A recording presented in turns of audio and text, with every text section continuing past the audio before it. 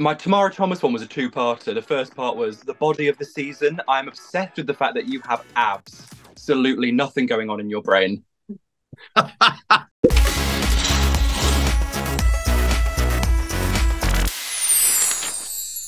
am back. So welcome to the Drag Race Yearbook Live. Thank you so much for joining us. Today, I am joined by the Comic Sans of Drag, who is also in mourning. It is Kate Butch. Hello, why? How are you, Fab? How are you feeling? I'm very well. I mean, I'm very surprised to be talking to you because I remember winning the whole thing. Um, and I, I Yeah, they, it's they put the wrong video in or something. They have. I- They really. What? World of Wonder. What they like? Do you know what I mean? right. As it's your first time here at the yearbook, let me explain how this works. We're going to have a little kiki, a little chat about your time on Drag Race UK season five, and then I'll be asking you to nominate your fellow sisters in our juicy yearbook category. Oh God, you already know. is there a this. twist? Is there, is there one rule? Is there one rule, Yshee? there is one rule. What is it? You can't nominate yourself. you I watch it? this every week. I love Every it. I'm like, week. it's, it's magical. You're you're one of my biggest fans, Kate. I don't know what you mean. I am. I'm obsessed with you. Oh God, who isn't these days? Right, let's get into it, darling. Our first category is the biggest drama queen. Kate, who was the biggest drama queen of the season, and what was their most dramatic moment? I think with all the love in my heart, I love her to pieces. And based on this episode, it's it's the gorgeous DeDeLicious. Yes, I I could I could tell that. I knew that. Was I mean, we had little crumbs of it in the first week when she lost her wig and she wouldn't stop going on about it. But um, this episode, she, bless her heart, she was so excited for this challenge and she really wanted to win it. And when it turned out that it wasn't going to be that way, which I still don't understand, um, uh, she was very resigned and like I'm lip syncing for the third time. And uh, she came up to me in the workroom and she was like, just, just, just you. I really want you to win and stay. And I was like, that's mm. very lovely, thank you. And then I looked away and I looked back and she was getting a big pair of scissors and slicing up her dress so that she could do the splits in it. And you Oh. saw her doing those splits and I was like, well, okay, that's me That- gone. Bye bye. that that is Dee Dee. Yeah, she, she's very that. But you know what? It's okay because you're still an icon, Kate. But talking of drama, everyone was gagged to see you go because we thought you'd you'd be at the end, babes. There was a lot of Kate was robbed comments on Twitter. Half of them were by you, I could tell. Um, when you lost the lip sync to Dee Dee, and fans were upset because they kept cutting away from you, and you were doing a bit of a st- stellar job. What do you say about that? Now you were able to watch it back. I mean, I was always going to be at a disadvantage going against Dee Dee. She's an incredible lip syncer, an incredible all around person. Mhm. Um, but I think I, I held my own. You did. I- if- if we were going to choose someone to eliminate DeDeLicious in a lip sync, it probably wouldn't have been me.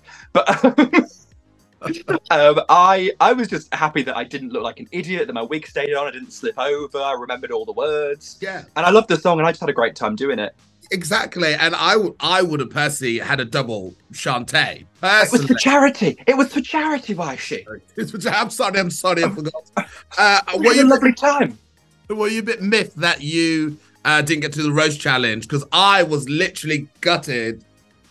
It's a double-edged sword, isn't it? Because if I'd done the roast challenge, I probably would have done quite well, wouldn't I? And I would have made it to the top three. Which does it make sense looking at my track record, my work on the season? Maybe not so much.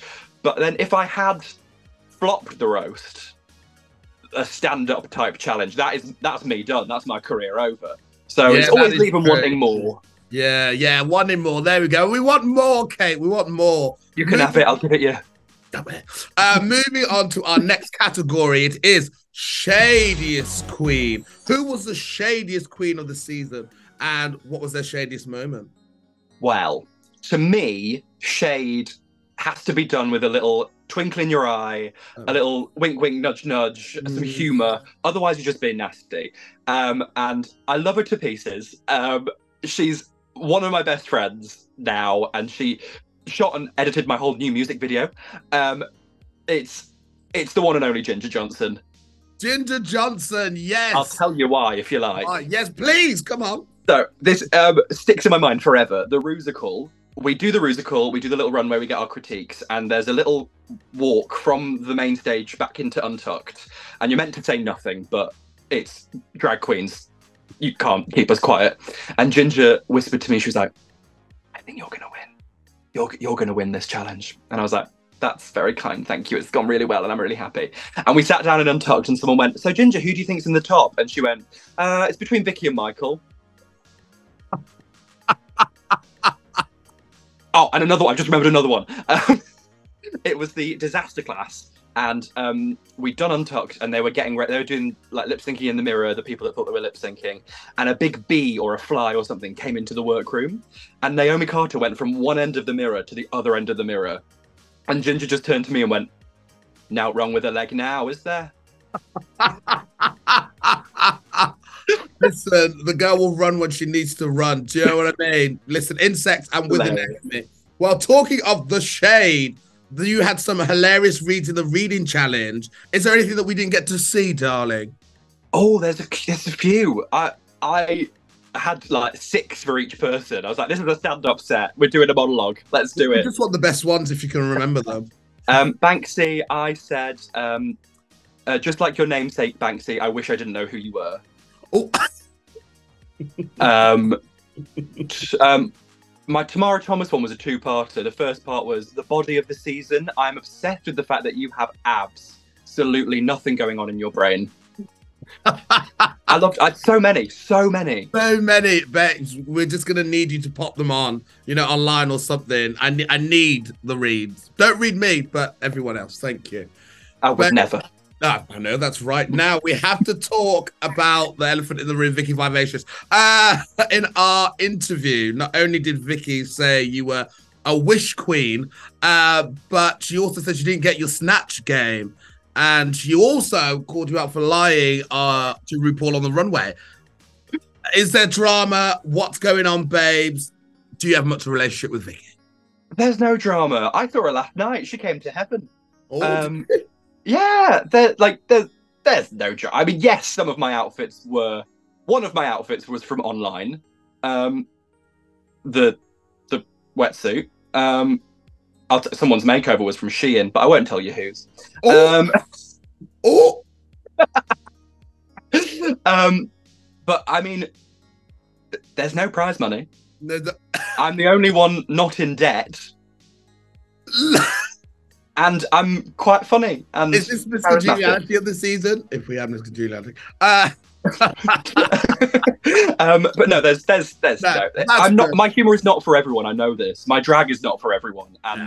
it doesn't have to be. But um, uh, it's for a lot of people, which is nice. Yeah, a lot of people exactly. are very much on board with it. exactly, and I'm one of them. Right, Thank we're going to move on to. Bunch of bastards. Oh, stop it, Kate. Oh, stop it. But we're going to move straight on to our next category, and it is the best look. Aside from your own, who had the best look in the episode? Aside from my own, Yeah. well, I don't. My looks every week were the best look. 10. I 10 can't believe I won last week from Cara. That was wild. Um, oh, do I have to do the episodes? I'll do the season then. Do the se- Banksie? Banksie. But which which And- Banksie? Just Banksie in general? Just uh, her her holiday one. Yeah. Where I'd worn leopard print two weeks in a row, and she came in in like ocelot and just smacked me out out the safari park. And her her makeover with cheddar that she's posted on Instagram, yes, I saw show it. stopping, I went, amazing. Oh, God, she's honestly so talented. Hate her. She is. I I've tried to borrow all of her outfits, but they were just too baggy on me. Yeah, they, they it They makes were. sense. It really it makes sense. Too bad. this week it was Family Resemblance Makeover Challenge, and you were partnered with somebody very iconic from the Switchboard LGBTQ plus helpline. Sadly, you ended up in the bottom two. But how did you find the challenge working with such inspiring people and also having to do somebody else's makeup?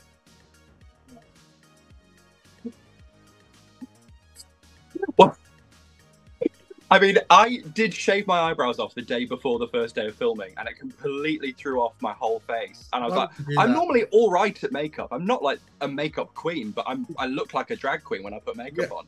Um, but yeah, I shaved the eyebrows off, and it lost me completely. And then they were like, and now do it on someone else as well. And I was like, oh god. Um, but it was it was such a magical episode. It felt like such a great honor to represent Switchboard and to give these amazing volunteers um, the the props they deserve uh, and a, a fun magical drag race experience. It was a big responsibility, but I'm I'm thrilled that we got to do it. Absolutely. It was such a joyous episode to watch. And I think all of you were like in your I know obviously it's a competition, but I really felt all of you were in your element. And for me, you're all winners. Uh, what was your favorite challenge on the show, babes? Oh, I loved I loved them all, even the ones that I didn't think I'd be great at, like the girl group challenge. I love doing that.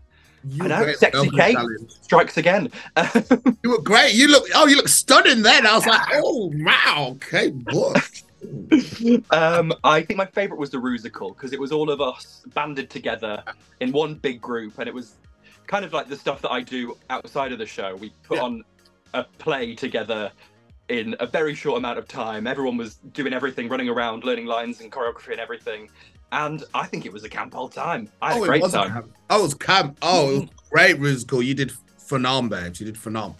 Okay, we're gonna move on to our next category, and it is the class clown. Who is the biggest class clown of the season, and when did they make you laugh? So I can't pick myself again. You That's can't pick yourself. I know, I I'm know. winning all these categories. Um, I think it's it's close, but I think Michael Marouli. Oh, Um, but with a close honourable mention for Ginger and Banksie. Um, there was a time I specifically remember when we were all safe in the sewing challenge. hmm, hmm. Um, me and Vicki and Ginger and Michael, and um, it's where we started doing a Cilla Black impression that just kind of carried I've us. heard the whole about this Cilla Black impression. Ew. Yeah, come on, give me some more. Yeah, yeah. What, Michael looked. So Banksie came back in and was like so excited that she was at the top, and Michael looked at her and went, "What's black and white and jumps around?" we, we were delirious already on episode Delirious. two, um, and we just kept doing it. And we tried to get everyone to be Cilla Black for Snatch Game and just see what would have happened. what would happen if everyone just turned up as Cilla Black? Different, uh, different points in her career. Do you know what I mean? yeah, I'd be the one, Um, her sitting at that table in that pub, refusing to give up that seat. That's Yeah. what I would do. always, always. It's a shame. It is a shame you can't vote for yourself, Kate, because you really are the clown of the season and in general. And on Every my, sense. Um, and every sense of the word.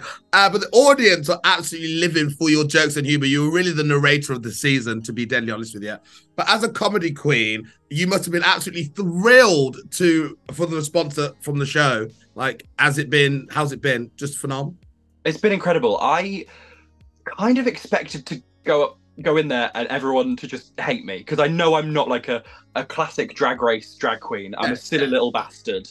Um, and the fact that people relate to me and understand my sense of humor and my references, and um, the fact that I don't take life seriously. Yeah.